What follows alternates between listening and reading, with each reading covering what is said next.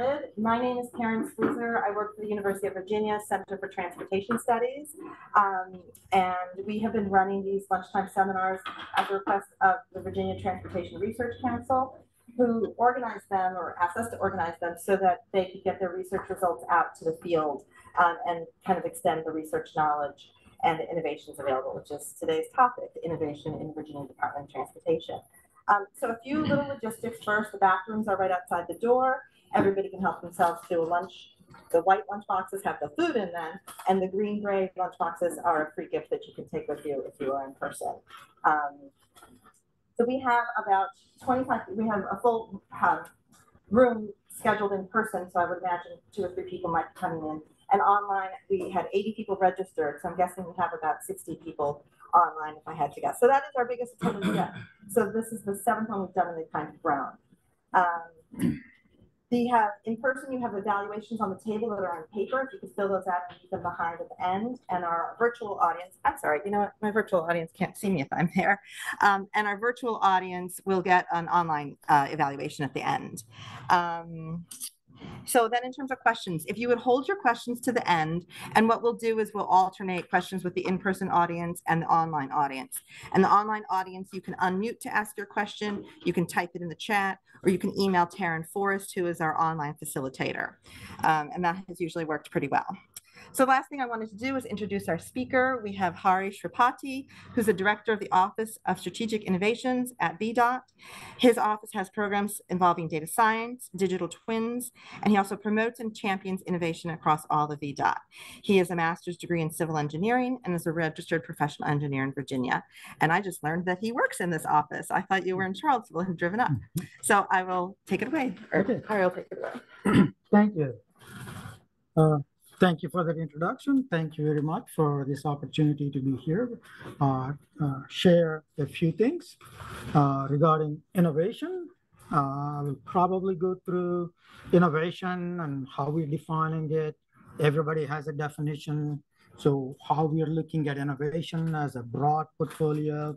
And then what some of the examples that we have on what innovations that VDOT is looking at and how we are enabling that culture throughout the organization. So it may be helpful to you, maybe for you personally, or maybe you could take it back to your organization. And I hope what I share with you uh, is valuable to you uh, in your personal and professional uh, career as well. Uh, so I'm just going to go through uh, uh, innovation, right? So when we talk about innovation, anything new and different that you do is innovation by dictionary definition, right? So by that definition, anything VDOT does to change something, something new, that's innovation. So when we look at VDOT, we have 60,000 miles of roads to maintain and operate and every day, you know, we are spending, our annual budget is about $7 billion, I think, last I checked. We have 7,700 employees and 250 offices across the state. You know, if you combine all the area headquarters, residencies, districts, a lot of field offices, everything combined, approximately maybe 225 to 250 offices, people spread across the Commonwealth, every corner of the Commonwealth. So if somebody does something new and different, they learn how do we use that and spread that across the agency and take advantage of that innovation or new idea. That's something we are looking at.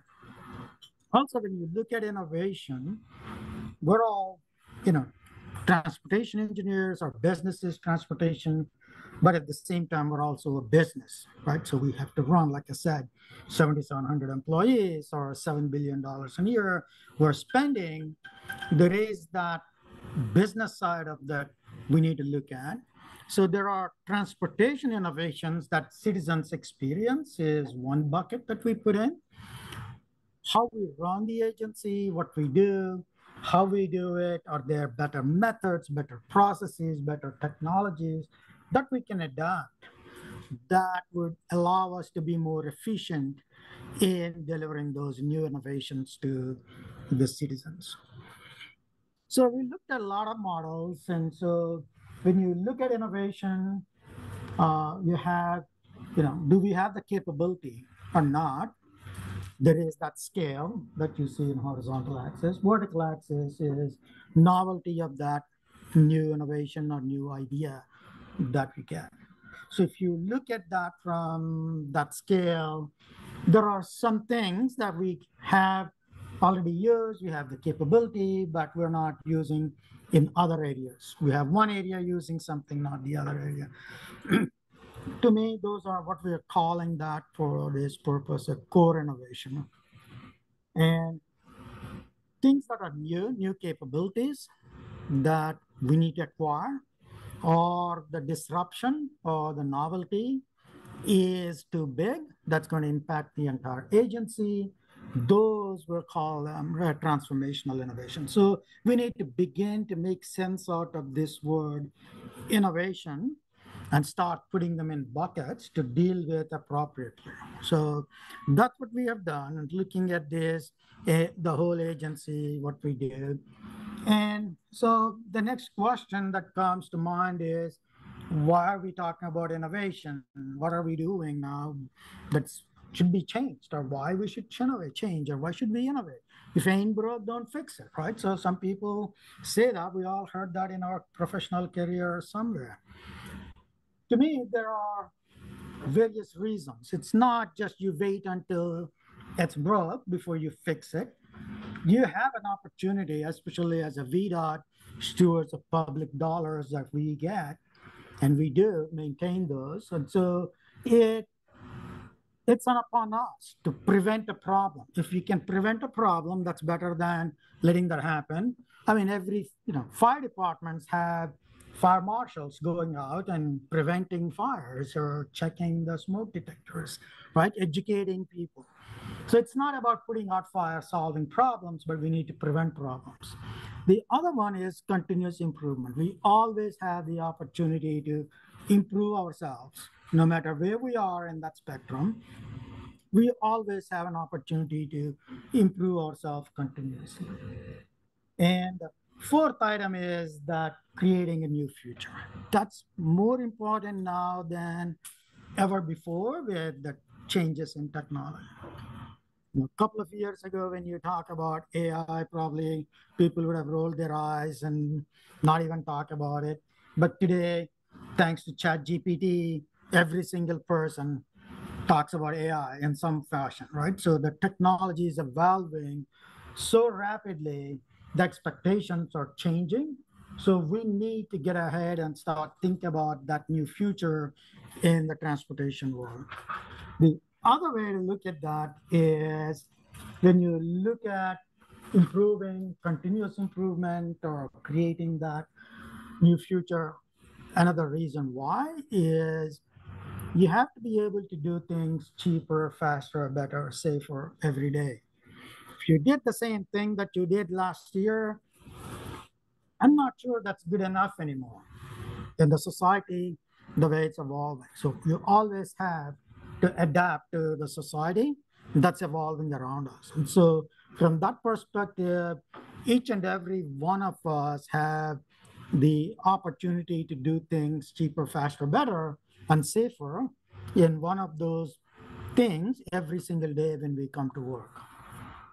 And we all have some responsibility towards doing some dull, dangerous, dirty work.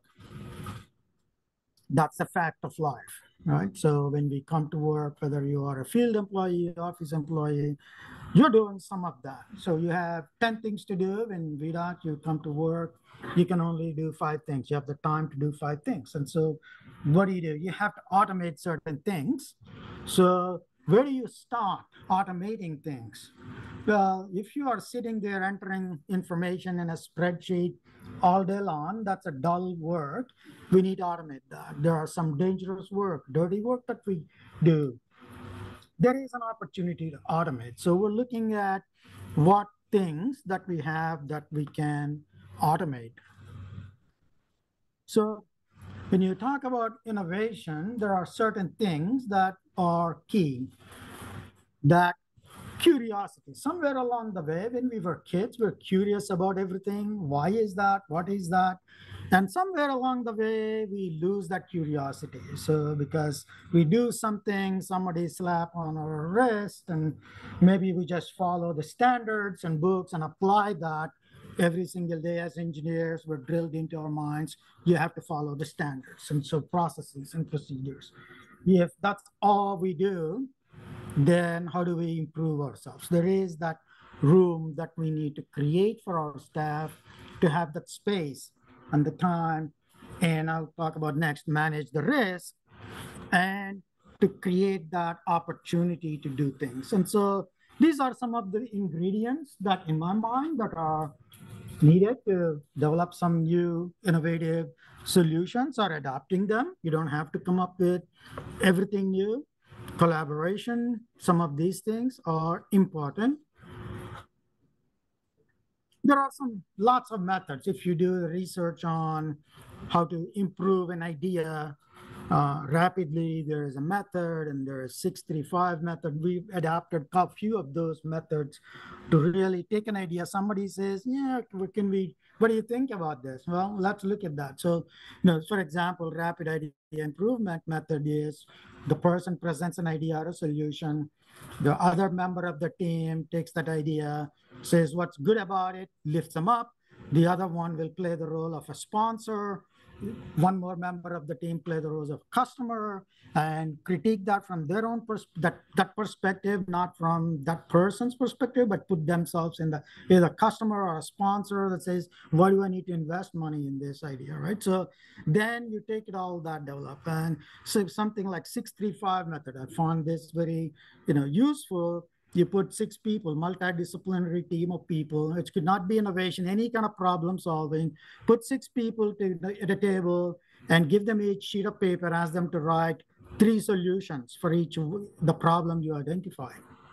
And then ask them to rotate that, hand it off to the next person sitting, and that goes through the rotation of the table. So remaining five people will improve that idea that's written on that sheet of paper, right? So by the time you're done, you have 18 ideas that are you know gone through that circulation of five other people improving it. You're going to find something or a combination of those. And so there are you can go through google it youtube it. You can find so many of these methods and innovation than improving the ideas or coming up with ideas. And some of these so I'll bring that back to the transportation world now. If you look at, you know, previously we used to have just roads and highways, and now we have various transportation options, and they are continuing to grow. So we all know that. So we don't have to go through. Then the technology, on the other hand, is rapidly improving. I mean, today is, you know, much faster than yesterday. So if you look at that, uh, the way things are um, evolving, uh, you have various technologies evolving from, uh, you know, in the society, not only the transportation end to, you know, payment technology, communications. By the time you turn around, there's a new, you know, now, you know, SpaceX has the Starlink technology. Well, a few years ago, it was not there, and you're in a remote area. So things like that every day, come, people are developing and at a rapid pace. And we need to understand all of those and try to adapt those in our own thinking and evolve. And as the you know, social media, well, 10 years ago, you talk about social media, probably very few people even understood or used it. But today, people cannot live without, right? So, and a lot of this customer interaction, no matter who you are, you know, I no longer call the customer service center anymore for any of my personal use. If I have an issue with Verizon, I go to on a Sunday afternoon or Sunday night and open up their chat bot and chat with the bot that works for me because I don't have to pick up the phone and stay on the phone for one hour for before they connect me.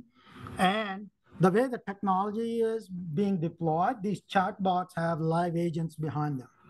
So the chatbot answers few questions and then it becomes a difficult or when you say, I want to talk to an agent, they'll connect you to an agent. And you are chatting with an agent immediately. So to me, those kinds of omni-channel interactions of customers, whether you have websites, emails, you know, 1-800 numbers, social media, or chatbots, all of these things are really, you know, there. So we need to learn to adapt and use and in our own customer interactions and customer service. So when you when we start looking at all of this, man, that's a lot of change. So what can we learn? Is there some, are there some lessons we can learn from the past that we can apply to what we are looking at in VDOT?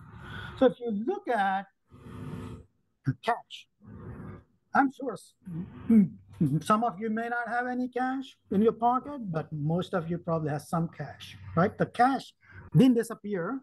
Bank as a building did not disappear just because somebody invented an ATM or a credit card. Yeah, banks probably are less used today, but if I still, if I go to a bank today on a Saturday for something, people are lining up and they have to get a number in some of these banks still, right? And a few years ago, when I start, first started the profession, people say, ah, you're a traffic engineer, you're in the wrong business because people are going to email and nobody's going to drive anymore. You're entering the dying business, right? But today you look at that, all the FedEx, UPS, emails, post offices are still there. So some things will change, but don't go away. We still have to provide those core services. From VDOT perspective, we still have to maintain the roads and bridges and all that stuff. That's not going away.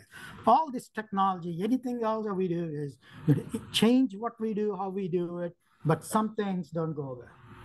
Some things evolve. So if you look at the phone, every decade there is a major shift and the landline to invention of the cell phone, then the cell phone to kind of, you know, smartphone, you know, Apple phone one to 10, the huge 10 year period, smartphone industry, Apple one to Apple 10, the apps, devices, the network, 2G, 3G, 4G, 5G, now people are talking about 6G networks, right? So everything evolved. If you think about that entire global network of cell towers, fiber connectivity, and all of that made that happen.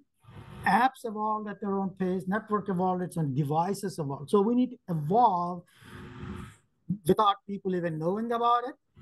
So how much do you know how these things evolve? You're, it's like watching a tree grow. You don't know. So it, if you look at it day to day, but these things evolve and we need to continue to evolve and change. And some things are paradigm shift items, right? So if you look at NASA, the space shuttle program, they scrapped and shifted to rockets and SpaceX.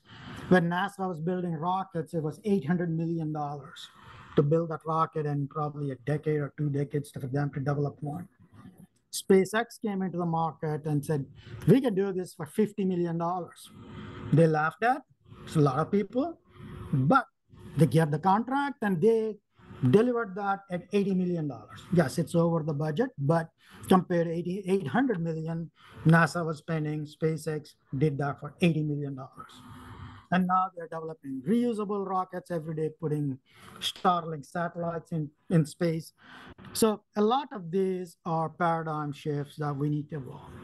With all of that comes the risk. Especially as a government agency, we need to manage the risk.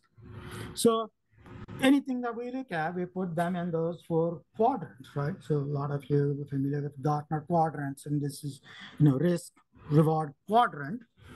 And, you know, some of these high risk and low return, yeah, money pits, we're not touching those. Lots of ideas every day. I get so many ideas from so many companies and say, we have this, we want to do that, or we our employees, we evaluate and quickly look at that, which quadrant it belongs. And so some of these yeah, low risk, low return, low hanging fruit. We just let people try it out. Those high risk, high return, we manage them. properly across the state because that's a high risk and also return is high if we are successful. So we need to manage those carefully. Low risk, high returns, those are the quick wins. We can, you know, we partner with people. So when we look at the innovation, there are various ways we are enabling that in the agency. Some of them we just monitor, some of them we enable others, some of them we partner with, some of them we manage. So what are some of the transformational innovations? And so I want to touch quickly, know, everybody's talking about AI. Well, there are lots of AI applications. A lot of people are fearful of. I don't know how many of you watched 60 Minutes episode recently. There's an AI 60 Minutes episode. They interviewed Google CEO and president of Microsoft. And analogy they used for AI is like nuclear energy. So you can build an atomic bomb, that's a separate thing. It's a country's control. That's general AI, general intelligence that can do many things. That's going to be more control. We're nowhere near that at this point, you know. But you can look at the same nuclear energy is being used in power production. And when I go to my doctor's office for a test, they use nuclear medicine. There is a whole thing every day being used. And we do nuclear gauges and various things in many industries, right? So same way there are narrower applications in transportation and business that we can use and they do limited things and we can develop and implement and test them out whereas kind of not worried about this big bad ai so that's what we're looking at. So a lot of these things without us knowing we're using google translation or facial recognition. When you look at your Google Photos, you click on a photo, you can, you know, sort out all the photos of that person that's ever in and 100,000 photos, right? So a lot of these language processing models, sentiment analysis, speech recognition, it's all there. And we're all using that. Chat GPT is a small portion of it. We're not there yet to start looking at that. Our information technology agency is evaluating some of that and we will probably at some point use it. But at this point, we are focused on what we can do in transportation application and what business application that we can use. Again, those two buckets that we, need, we're looking at. So I'll just quickly touch upon machine learning, which is a subset of AI. And in that, there are kind of unsupervised learning, Unsupervised learning, we are looking at those two ends. Uh, at this point, we haven't gotten any robots yet, and we're not training any robots and in VDOT. Uh, we're just barely looking at what's available in the market uh, in terms of navigation of devices and stuff. But if you look at unsupervised learning, that's more big data visualization, cluster analysis, that kind of stuff. We are looking at that and say, okay, we have all this crash data, all these various data sets, how we can cluster them, look at the patterns and stuff. And supervised learning is where you have a target. We look at, okay, if you have something, you know, what, you know, uh, to like how the pavements are deteriorating, for example. At the end, we could CCI rating is the target, and then you could look at all the factors that are contributing to that deterioration. For example, you can apply that to crash prediction. Say, okay, crash is the outcome. There are hundred different variables that contribute to that, which one of those variables are predominantly correlating to that type of crash. That type of regression analysis, the future predictions.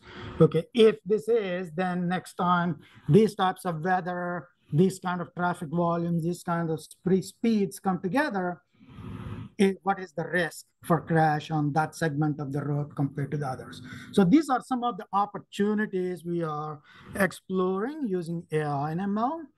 And some of these are already in place and in use that many people may may not be aware of, like tolling systems, those license plate recognition systems that are used in the tolling every single day. Every toll road uses it. Those are all machine learning. They, you know, if you think about 50 states, license plates, each one has hundreds of variations of license plates, letters, colors. You should be able to recognize that license plate with a photo taken in a vehicle traveling at 70 miles per hour. That is, there is an AI algorithm trained model. They train various license plates from each state, build the model, and apply that so it's there. We're using it on many of the toll facilities in Virginia, and every other state is using it. And that's based on computer vision. So some of these other various companies out there in the marketplace, we're evaluating like, you know, uh, incident detection, kind of maybe near miss type of thing, or tracking vehicle patterns and uh, flow analysis, various things that you could do using machine learning. And the prediction piece that I talked about is being used again, incident predictions in various agencies across the country are testing various models and congestion predictions. Um, if you look at Google Maps, I mean, that's all built on AI, navigation systems, and giving you directions, right? And I already talked about asset deterioration, road condition monitoring. I could think of at least 20 companies are out there in the market looking at uh, asset condition detection, uh, looking at images or video, LiDAR. They can identify the asset, they identify the asset condition, give you that information. There's a lot of companies out there doing the parking management, parking detection. Already there, we're looking at that as well and a lot of the pedestrian detection, you know, passive detection pedestrian at the intersection without pushing the button, you can activate or you can do various things. And of course, AVs are fully developed using the um, AI technology. Um, first big project we have using the technology, we are doing a lot of smaller pilots and various things. You might have heard this RM3P, which is Regional Multimodal Mobility Program. It started in Northern Virginia, expanded that to Fredericksburg region through a federal grant where we collected all the data from various jurisdictions and modes of transportation, combined them into one data exchange platform where you think about 20 agencies trying to share their data with 20 companies trying to do business it's just not going to happen where everybody has to sign an agreement and all of that stuff. So this data exchange platform um, collects all that information, which we have completed already. And the goal is to improve safety, reliability, and mobility through that multimodal coordination. There is an AI decision support system that we just received the CTB or Commonwealth Transportation Board approval last week. So we'll be executing that contract soon. That contract has again some of the congestion predictions and crash predictions and response plans and multimodal all the agencies how they could respond together what's the best response plan and so looking at the current conditions and the past condition, how we responded to, the system will recommend an optimal response plan to large scale incidents in the region. So there is an AI-based compute, commuter parking system under procurement right now. So I don't want to talk too much about that. And also a dynamic incentivization, which is under procurement as well, using that data, some of this information to influence that driver behavior in real time. So we do have a lot of traditional TDMs already in the region. What this does is take that, put that in steroids and very targeted percentage of folks that we could try to influence in real time when that major incident happens. So enough people would go back home or not take the trip or go to nearby Starbucks, spend an hour, maybe they get a coupon as an incentive for doing that we're going to work that out. But its our goal is to make that a long-term sustainable program instead of government funding it. So we have a little bit of seed money to get that started, and we will see what that procurement um, results and how we can sustain that dynamic incentivization. Some of these other technologies, LiDAR is the another big technology transforming our business. Uh, if you look at our, you know, iPhone 13s, I think Pros, iPhone 12 Pros have LiDAR in them, but they are very limited to indoor use or small scale use. But they are there and they're going to get better every year, I'm sure, with Apple. Anytime they bring something to the market, there are so many apps in the marketplace right now to use the LiDAR data from your iPhone and to do this. If you look at that picture with a pole, that's not the real pole that's there. One of our folks took that scan of that pole and dropped it in on that in that area next to that curb to demonstrate how that would look. If you go to the public meeting or go to your client and say, hey, I'm going to put a pole here. This is how it's going to look like at this location. That's the type of pole and that's the type of foundation sticking out next to that curb. That's powerful. And I don't think we are using that widely enough. So those of you in the room have the opportunity to start using it. I would encourage you to start looking at that technology and start using it. If you look at the right side picture, the cabinet, signal cabinet on the right side is real. The left side is the virtual reality one. so we just scanned it, dropped it next to it. But if you look at the perspective view of it, everything, including the shadow of that, it modified to fit that location. That powerful is your smartphone or an iPad Dutch in your hand. This was done about a year or two ago. Now, you probably, if I use today's examples, they probably blow your mind. So there are lots of opportunities in the industry that we need to take advantage of. And the other big advancement that cross-cutting across the agency we're tracking and looking and see how we can implement and improve is the virtual reality. A lot of what I'm going to talk about today is it's applicable across the agency because I can talk about the bridge or pavement or any one of VDOT innovations, what's happening there will be here for the next, you know, 10 hours. And so I want to kind of limit today's conversation to kind of broader technologies and broader use of the uh, innovations. And so if you look at this, that's one of them is in Salem, one of them is in Bristol. We have done it as a pilot and using the current technology that we have. Right, so VDOT has licenses to MicroStation, Open Road Design, you know, context capture, a lot of Bentley products that we use. We used what we have. We didn't go after buying anything new or no spend, didn't spend any money other than what we used our staff time for. I could play the video later on if you're interested. In, uh, but yeah, so there actual virtual reality, you sit in the driver's view, you can drive through that roundabout or this place left turn to take that to the, you know, the car or citizen information meeting. Let people drive through the area or look at that Coalfields Expressway option five and they did that. You can see how that looks. So a lot of opportunities are there. You can post those 360 degree videos on YouTube and post on the website for people to look at all around. You know, all that stuff is there, and you can take it to the citizen meeting and put virtual reality goggles on their face, and they can actually experience sitting in the car, driving through that proposed roadway. And this is again an example from Salem where they were building the pedestrian bridge and the parking lot. They proposed two options, steel and concrete stairs. And they developed that model and let citizens view it and express their opinion on which one they want.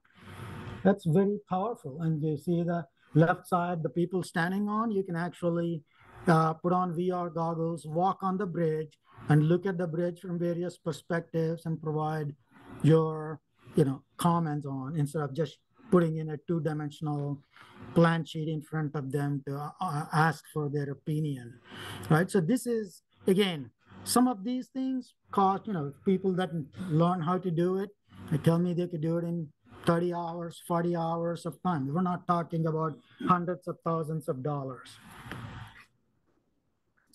Yeah, I think I'm already mentioned that uh, you know, asset condition using images. Uh, we are looking at that. Um, like in this example, our in-house team tested it for rumble strips to see if we can detect it. And so before we go out and you know get the data, trust the vendors that are trying to sell us stuff, and uh, we did a proof of concept to see if this is real. Yes, it is. I mean, the model in our case we didn't even fine tune, but let's say it's 87% confident that's a rumble strip there in that image. So we could get asset inventory and it works. What that does is that allows us to make data-driven decisions in maintenance or to do preventive maintenance and some of these things. And so, and we can run a lot of that type of forecasting and predictions using the data that brings me to the next thing the BIM process. A lot of design engineers are looking at across the country, uh, building information model, 3D, 4D, 5D based, model based design and construction. VDOT is also looking at that. But that's going to be you know, limited the whole industry, need to develop around the construction folks as well as um, all the design engineers and VDOT and the claims process, if you would administer the whole thing in a 3D environment and attach schedule and the budget to it, it makes it 4D, 5D, it's going to be a long process. But we are looking at that. What we did with the 3D models is the initial step. But the bigger, powerful aspect is taking all of that data, making that available to subsequent phases, which is maintenance and operations. So we're trying to figure that out. What we call the digital twin is the framework. It's been used by aircraft industry for aircraft engines to airports to oil refineries, various places that run 24 7. It's important to maintain while running, and the, each component has a major impact if you don't replace it. They're looking at that. So we're looking at that as well as a transformational innovation over the next decade or so. It's not going to happen tomorrow. But as we collect more asset information on the asset side, inventory, condition, in an automated way. And then we have all these you know, in analysis software like Power BI or all the other tools that we have, combine that with predictive piece on AI and ML, that's where we see a great opportunities to connect the data, create a digital replica of our physical assets. That's the essentially what the digital twin is. And so then once you create that digital replica of our physical asset, that allows you to move the data from the design world to maintenance and operations world without recreating it. Right now, when we design the project, we create the, you know, the PDF files or TIFF files of those plan sheets and hand them over to construction. They do their own construction management software, annotate stuff on PDF their forms, and then at the end box them up. And in the maintenance world, they start all over again. So this is where uh, we would like to go next in terms of the, oh, what happened? Computer got stuck? Okay, sorry. So this is where we'd be going. This is what I'm talking about in a digital twin world. What is it? It's a digital, realistic, dynamic representation. It's not just a 3D model. What makes the digital twin it is is adding that real-time data. We have lots of operational data from INRIX to many traffic sensors. We get real-time data every second, every minute, every five minutes, every hour, every day, depending on what type of data it is, and asset conditions. Right now, asset information is not tied to operational, not tied to financial. So this digital twin in the future where everything is tied, allowing us to do what if scenarios and simulations. What if you do this? If I, or what's the cost? Or you know, how long this is like? If I failed uh, thing here, how many other things that same thing I have in my inventory that I need to plan to replace ahead of their actually failing. So a lot of that uh, is something we are thinking through to bring together the data, the analytics piece, predictions piece, visualization piece, and the asset and real-time data, operational data, all kinds of other data together. So we're developing a proof of concept for using our maintenance data to begin with, and we're looking at all the others. And so that's where the big transformational stuff is happening. And then I'll quickly go through when we talk about the core innovation. I'll give you some examples. You know, you have when I say 7,700 employees, a lot of ideas are out there. Everybody has an idea. We cannot chase after every single thing. So, so you have to have a methodical process to do that. That's where we're promoting kind of an orderly process and to go through all the ideas and put them in a bucket and others will improve the ideas and then we do a pilot a proof of concept and only after we learn from it the successful then we would jump to the actual full-blown implementation. So there are ways we are uh, engaging our employees. Uh, so we have a crowdsourcing platform called idea driver. That's our brand. That's a private company, IdeaScale. We is a software company that we use for that, that allows people to vote on, you know, develop those ideas further. And then also our 1-800 for road, our customer service center could take the calls from our internal VDOT employees to solicit ideas and say somebody has an idea driving in the field, they don't have time to enter in the system or they don't have field employees, don't have easy access to the system, they could call that number. So we are crowdsourcing all of those ideas. And we created a tool shed in a, what we call innovation tool shed, all various tools, methods, processes that we have in one place on our intranet side. And also, um, uh, I'll quickly run through some of these. Um, we have, you know, we call innovation labs, where a diverse group of people, we bring them together, give them a problem to solve, they work through in, in, uh, and identify opportunities and solutions. Uh, we do that by district, by we've been doing that now by district by district because each district has unique problems that they face. We want to kind of get close to where the employees are.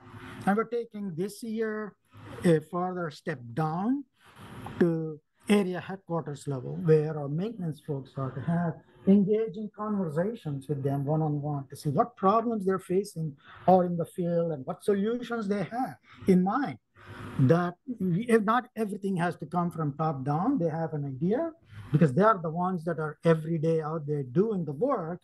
People that are doing the work are the best people to tell you if something needs to change or something that would help them. So we're engaging them and we kind of created a playbook from that first one we did. And we want to fine tune that a little bit and try to implement that across the state as well. So there are various ways. We have a monthly webinar that we do, sharing all kinds of technical presentations to tools and various things that are happening in the agency. So everybody else in the agency are aware of it. So they could say, oh, I could adapt that or I could do that. Uh, we did a catalog recently. with all kinds of stuff that we found in the last couple of years that were done in VDOT.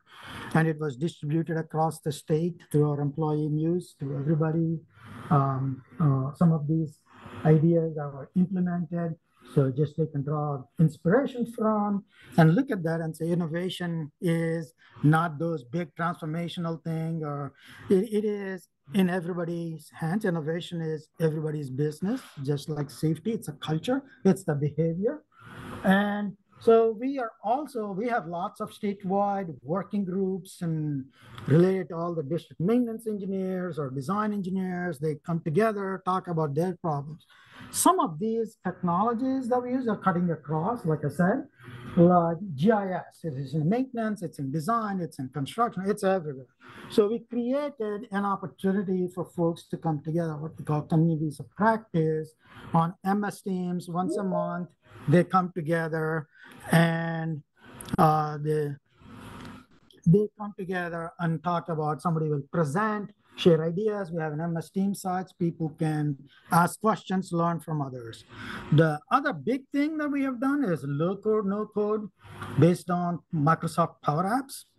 Enable that, our business enable, we created that business enablement team and they uh, and established a process where VDOT employees can build their own apps using the Microsoft Power Platform.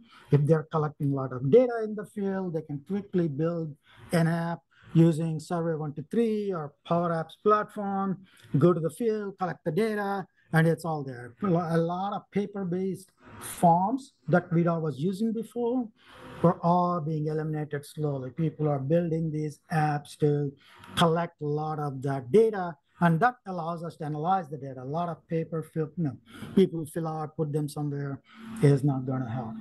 And anyone can join with their manager's approval and could go learn. And then robotic process automation. A couple of years ago, we brought that and mentioned the example of somebody is entering invoices coming in in a PDF form and entering that into a financial management system. Now we use Blue Prism bot. Somebody programmed the bot to take all these invoices that come in and enter that into our financial management system. So the person could just wait. It takes 15 minutes for somebody to enter. The bot could enter in five minutes and the person can watch and supervise to make sure all the data is being entered correct way. And there are more and more of those chatbots and various things uh, that you can use automate various things using some of the tools we already have. We don't have to go get something new. A lot of Power BI dashboards and analytics being built every single day. That's a huge thing in VDOT. And anyway, you know, a lot of people are using some of those business intelligence platforms.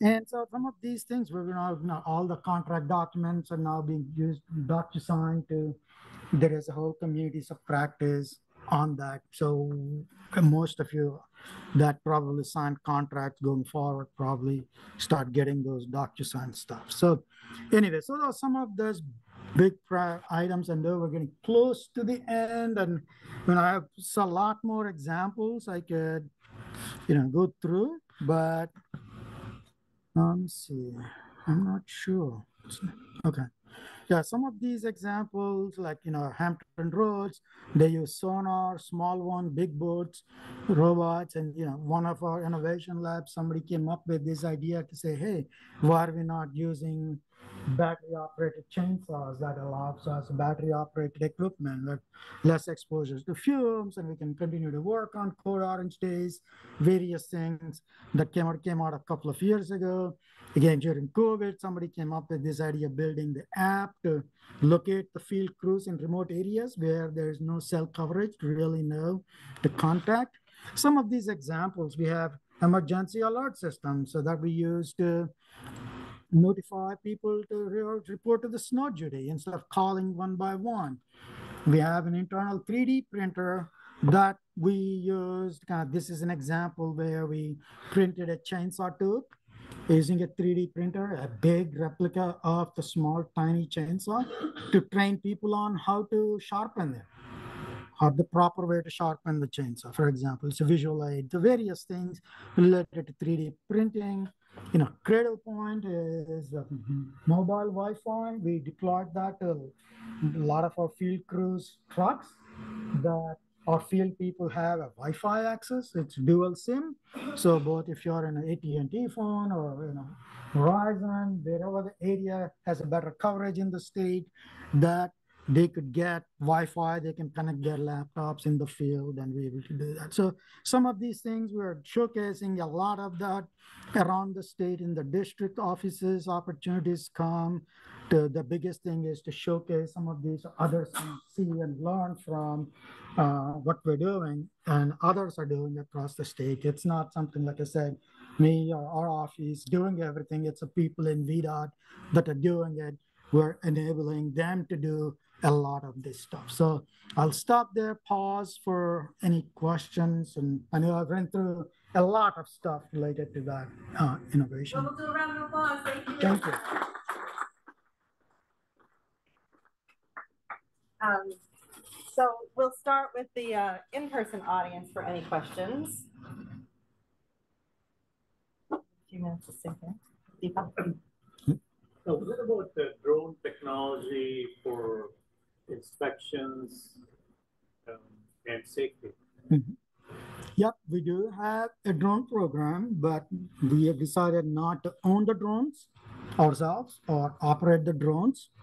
And we have a lot of contracts that we use for various purposes. And so people are already using drones for various purposes in VDOT for their own um, use cases in construction, in communications, in various design, various areas. And for inspections, we are- don't think we're there yet. And so that's our bridge division is looking at that. And, but I don't think we are there yet for the bridge inspections.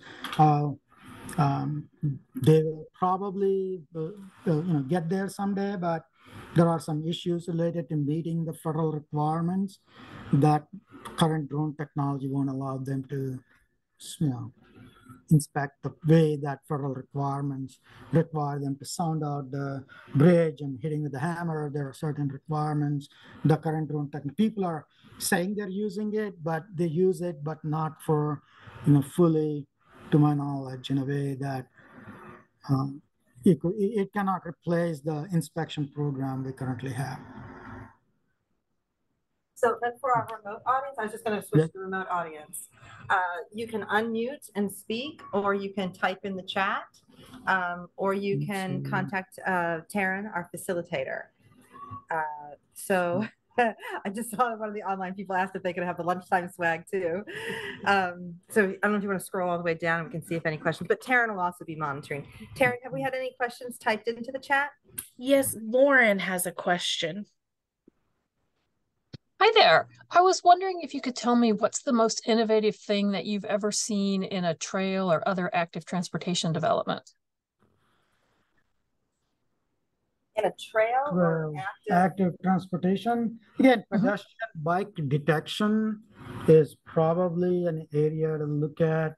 And a lot of general stuff is applicable to trails as well. When you look at the asset conditions and stuff like that, collecting the video and analyze it, they're applicable to trails and maybe trail crossings where you can probably look at passive detections and various things that uh, I've seen people experiment with. The company is building technologies for the trail crossing major highways or uh, things like that uh, for detecting purposes.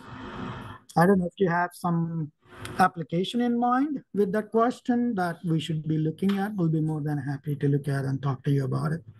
Thank you. That's that's great for today. Appreciate that. And then in person? If we have another question about-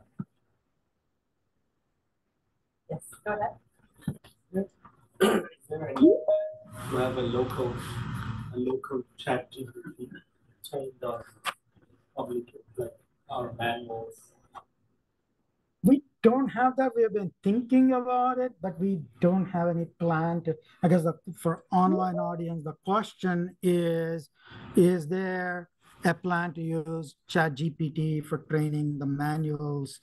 And the answer, No, that's not the, the, my idea is to have a local. Yeah. tool Yeah. More than not the chat GPT. yeah, but it's a locally getting something again, developing something to train a model that could go through the manuals and our standard books and spec books. And all you do is ask a question in general English. It can point you in the right direction. Yes, somebody raised that thing as an option for us to look at.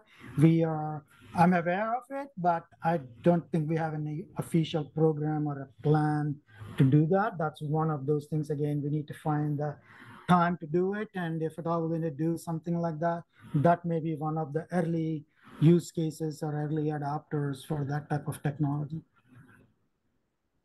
And online, do we have some more online, another online question? Hi, Karen, yes, we do have one. Um, we have a question that says, are there any ongoing innovation projects focusing on public transportation? Uh, Yes, but those are from our sister agency, Department of Rail and Public Transportation. I don't want to speak for them, and they do have some programs that are funded through our ITTF funding program called, you know, that's a Innovative Transportation Technology Fund that we have for that Commonwealth Transportation Board funds. And there are a few projects in there related to bus technology. They have done a pilot with Mobileye in detecting the pedestrians and bicyclists around the bus. And I think blind spot warning. There are certain things that they are doing related to bus technology. And maybe I think uh, if you contact them, they'll be in a better position to give you more accurate information and more latest information. Uh, to me, that that's where I think they have done, if I remember correctly, a procurement for all the um, local bus agencies to use. And so there are some innovative things that they're doing. Back to our in-person audience. What's, what's the best way for private industry to help contribute to VDOT's innovation?